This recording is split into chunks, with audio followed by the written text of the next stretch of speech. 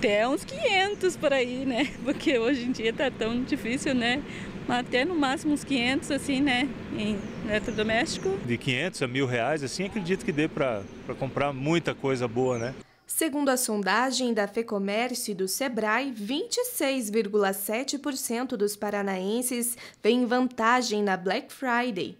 Essa parcela é menor do que em anos anteriores.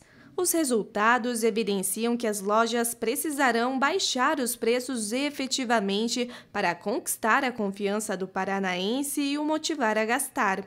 Segundo o presidente do Sindicomércio, Ulisses Piva, a previsão é de um aumento de 5% nas vendas em Pato Branco e região em relação ao ano passado. O pessoal do interior, realmente, eles recebem no quinto dia útil e o décimo terceiro aqui, a primeira parcela será eh, dia 30, Uh, os comerciantes, as empresas que conseguirem pagar o 13 terceiro, lógico, né, que estão bem dificult, uh, numa dificuldade muito grande, umas empresas com problema sério de caixa, mas acreditamos que tudo se resolve. Dentre os produtos mais comprados na Black Friday estão os eletrônicos, com 86% da preferência do público e também itens de casa. Pretendo comprar uma mesa que eu estou precisando. Uma mesa? Uhum.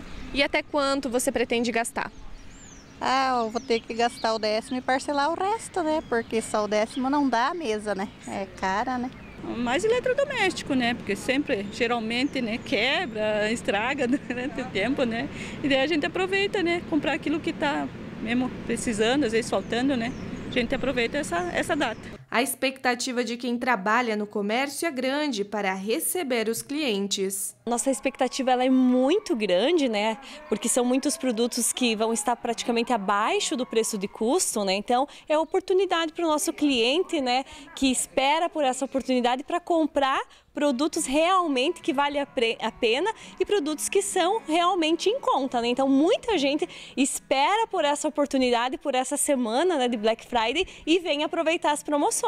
Estamos com a expectativa boa, que, de, que os clientes venham, que a gente consiga alcançar os objetivos aqui da loja, de todo o comércio Pato Branco, para que ele possa gerar essa, esse montante de dinheiro juntamente com, a, com as promoções, né?